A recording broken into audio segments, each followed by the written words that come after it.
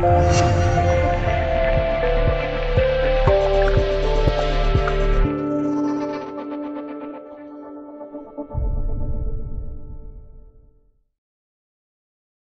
迷们，大家好，欢迎阅读战情大点评专栏。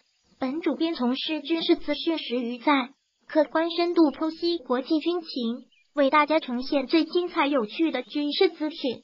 今日资讯，众所周知，想要在国际上拥有足够分量的话语权，就必须大力发展自身军事力量。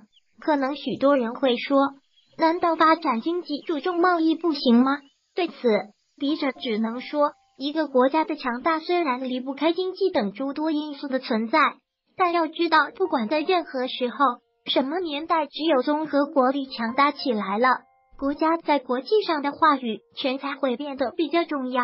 我们就拿美国来说，如果光有钱没有强大的军事力量，在世界上能够被世人称为是当今世界强国吗？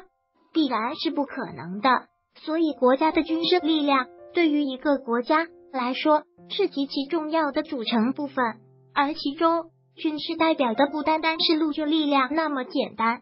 随着现代军工技术的发展，在现代战争中，主要都是依靠着科技的力量，而作为国家战略性武器的航母，就是最具有代表性的一种军事力量。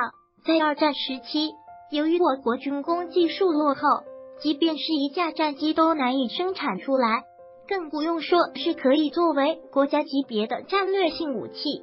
但我国到二战结束后，却深知航母对于一个国家的重要性，为此曾多次想向世界拥有航母的国家进行购买。而通常情况下，一些国家并不会将一些核心技术连同航母一同售出，所以即便是多次向一些国家购买，但回来的航母却并没有研发价值。由此便可以看得出。航母对于一个国家的重要性。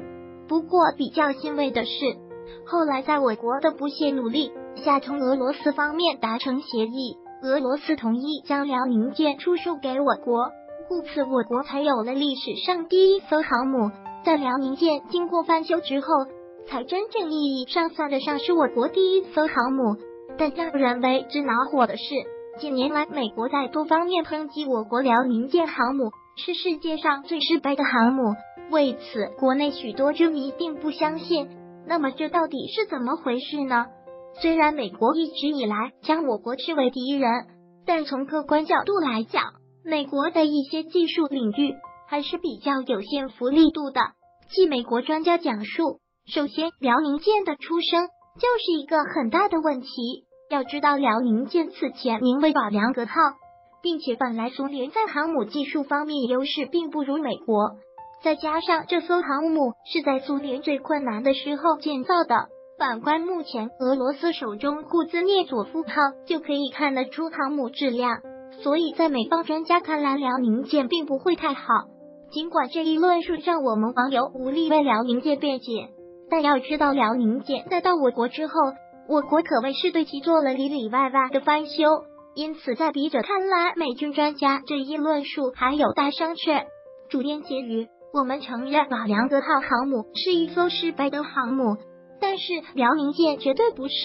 专家趁此前辽宁舰已经很好的完成了各项任务，足以具备作战能力，好好保养它的话，至少还可以服役二十年。各位对此有什么看法呢？本文由战情大点兵原创，未经允许。严禁转载。